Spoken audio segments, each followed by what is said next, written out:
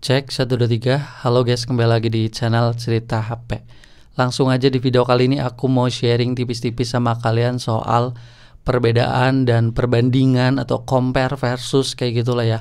iPhone 11 vs iPhone 11 Pro.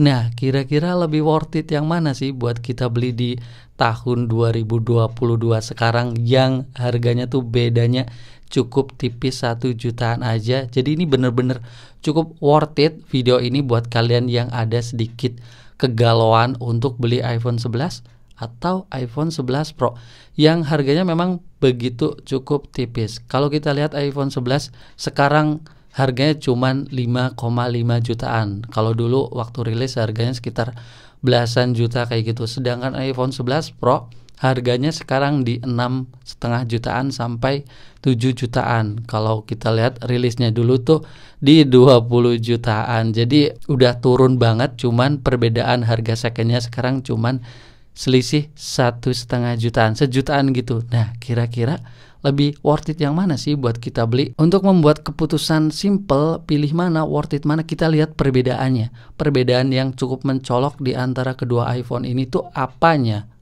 Oke, pertama perbedaan yang cukup kerasa adalah dari segi desain dan bodinya.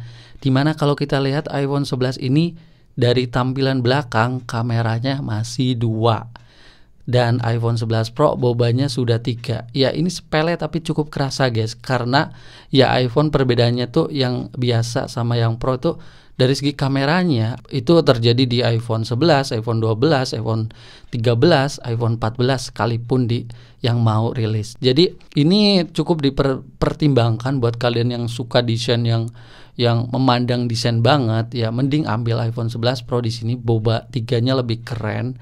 Dipasangin casing juga tetap kelihatan kalau itu tuh HP-nya iPhone 11 Pro gitu loh.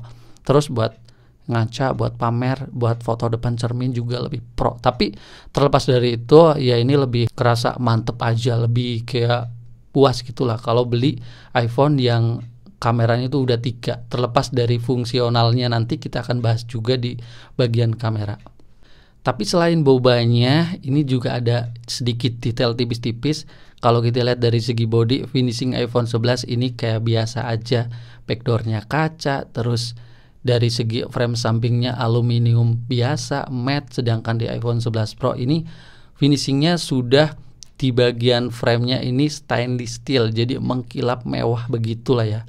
Dan kalau kita balik ke tampilan depannya ini cukup kerasa banget perbedaannya guys di mana iPhone 11 Pro ini memiliki bezel yang lebih tipis ternyata dibanding iPhone 11 biasa. iPhone 11 biasa ini bezelnya termasuk agak tebal jadi mirip-mirip dengan iPhone 10R persis banget bahkan kalau kita nggak ngelihat bodi belakangnya kita nggak bisa bedain ini iPhone 11 atau iPhone 10R jadi bezelnya sama-sama tebel dan di iPhone 11 Pro itu bezelnya lebih tipis dan kalau kita ngomongin ukuran ini ukurannya lebih lebih kecil di iPhone 11 Pro ya karena layarnya tuh cuma 5,8 inci sedangkan di iPhone 11 layarnya lebih gede di 6,1 inci Oke, selanjutnya perbedaan yang cukup kerasa adalah dari segi layarnya. Ya, ini dari segi ukuran memang beda ya di mana iPhone 11 ini lebih gede di 6,1 inch sedangkan iPhone 11 Pro cuma 5,8 inci. Jadi secara langsung buat kalian yang suka layar gede ya mungkin akan pilih iPhone 11 karena layar 5,8 di tahun sekarang tuh mungkin termasuk kecil sih buat kalian yang gak terbiasa dengan HP compact atau terbiasa dengan HP zaman sekarang layarnya 6,5 plus plus ini agak kayak sedikit kekecilan sih tapi terlepas dari itu ini kualitasnya bedanya cukup jauh. Di mana iPhone 11 Pro ini sudah pakai layar berpanel OLED sedangkan si iPhone 11 ini masih pakai IPS LCD plus dari segi resolusi di mana iPhone 11 itu belum Full HD masih 828 ppi sedangkan di iPhone 11 Pro layarnya sudah tajam di 1125 ppi. Jadi untuk pengalamanku sendiri ini kerasa banget sih kualitas layarnya yang iPhone 11 kayak B aja bahkan kayak HP pada umumnya yang harga di 2 jutaan kayak gitu belum full HD sedangkan iPhone 11 Pro udah berpanel OLED khas HP flagship sama resolusinya juga sudah tinggi kalau dilihat langsung tuh beda guys Secara simpelnya sih layar panel OLED ini lebih memberikan brightness yang lebih terang, view angle yang lebih bagus sama kalau kita matikan bukan matikan tapi kita pakai mode malam di malam hari itu itemnya lebih pekat dibanding layar berpanel IPS. Jadi kalau kita lihat tuh berbedanya cukup kerasa. Jadi nyaman banget di layar OLED gitu dibanding layar IPS. Sama warnanya yang lebih cetar tentunya. Ditambah lagi resolusinya juga cukup kerasa. Di iPhone 11 ini agak cenderung burik sih enggak, tapi kayak kerasa biasa banget, kayak kurang tajam gitulah. Oke, next selanjutnya adalah perbedaan dari segi kameranya.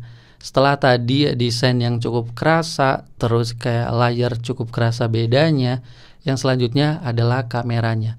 Kameranya seperti tadi aku bilang di awal kalau iPhone 11 Pro sudah memiliki setup lensa boba 3 sedangkan iPhone 11 tuh masih dua dari segi tampilan menang, dari segi premium menang, dari buat pamer juga menang.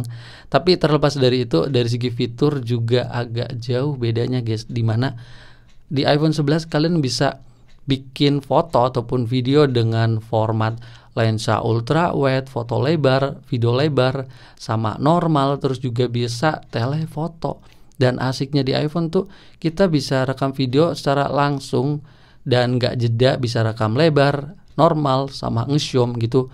Tuh secara langsung, sedangkan di iPhone 11 ini nggak bisa. Jadi karena lensanya cuma dua ultra wide sama normal aja, jadi nggak bisa telefoto. Tapi kalau ngomongin kualitas sih bedanya tipis aja sih. Tapi untuk kualitas zoomnya kalau pakai lensa tambahan kayak telefoto di iPhone 11 Pro jelas lebih tajam dong dibanding kalau kita pakai iPhone 11 tapi kita zoom digital dua kali pakai zoom biasa gitu tuh hasilnya lebih pecah. Jadi itu yang cukup kerasa. Oke, sekarang saatnya closing jadi memberi kesimpulan tipis-tipis gimana nih untuk perbedaan harga sejutaan kira-kira lebih worth it yang mana buat dibeli? Ya menurut aku langsung aja lebih worth it di iPhone 11 Pro. Mungkin kalian akan berpikir, bang aku nggak butuh fitur itu. Tapi untuk perbedaan harga segini, kalian tuh bisa dapat tiga perbedaan yang cukup kerasa di mana desain lebih premium, boba 3, stainless steel, bezel layar tipis, kualitas layar juga lebih bagus, panel OLED lebih tajam, fleksi punya gitu. Terus kameranya juga lebih profesional, tiga lensa kayak bisa dipakai tuh lebih nyaman, lebih lebih lebih enak gitulah. Kalian bisa dapat lebar, ngezoom gitu lebih maksimal. Jadi menurut aku terlalu worth it untuk ambil iPhone 11 Pro. Soalnya kalau kalian ambil iPhone 11 di harga 5,5 juta dengan alasan hemat sejutaan, menurut aku tuh lebih worth it ke iPhone 10R-nya aja, guys. iPhone 10R sekarang harganya di 4 juta. iPhone 10R sama iPhone 11 tuh bedanya tipis paling pada bagian chipset sama ya kamera ultrawide di mana iPhone XR tuh belum punya. Kalau selebihnya tuh kayak hampir mirip-mirip. Tampilan depan bezel tebel, layar kualitas belum Full HD sama bagian belakangnya juga cuman beda ada boba 2 sama boba 1 di iPhone XR. Jadi menurut aku lebih maksimal aja sama ngurangin nyeselnya itu lebih tipis guys. Jadi kalau kalian beli iPhone 11 Pro itu udah udah full ini iPhone premium dengan desain layar kamera yang udah maksimal. Kalau menurut kalian gimana? Kalian bisa tulis semuanya di kolom komentar. Videonya sekian aja dulu dan terima kasih. Kita ketemu lagi di video selanjutnya. Bye bye.